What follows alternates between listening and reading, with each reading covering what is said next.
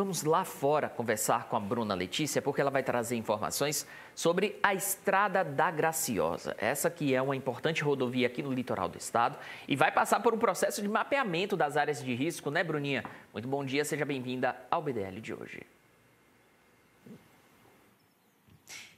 Oi, Pierre, tudo bem? Muito bom dia para você, para todos que nos acompanham nessa sexta-feira. A gente traz informações, portanto, vejo o Departamento Estadual de Estradas de Rodagem é, o governo do estado, né, por meio do Departamento Estadual de Estradas de Rodagem, lançou um edital, portanto, para avaliação de encostas e taludes da PR 410, ou também muito conhecida como Estrada da Graciosa, entre o quilômetro 6 e o quilômetro 16 em Morretes, aqui na região do litoral do estado. O objetivo é identificar todas as áreas de risco de deslizamentos e elaborar soluções para garantir estabilidade, evitando que novos danos voltem a ocorrer no trecho.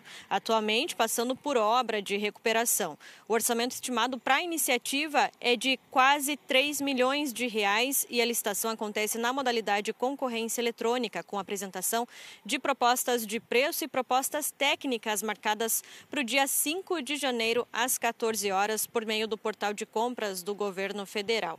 O edital contempla serviços de mapeamento e perfilamento a laser em veículo aéreo, avaliação das condições de drenagem, avaliação das condições de geotécnicas e realização de sondagens, consolidação de estudos sobre o trecho e elaboração de um mapa de risco, e a elaboração também de projetos básicos de engenharia para os pontos críticos identificados. O prazo de execução das atividades será de cinco meses após assinatura de contrato e emissão da ordem de serviço.